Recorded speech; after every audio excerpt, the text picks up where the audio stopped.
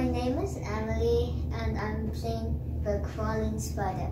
I like this song because it tells a story about a spider.